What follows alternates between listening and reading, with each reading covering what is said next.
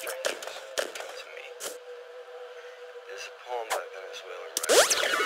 Balls of steel, explosive diarrhea. To bring us closer.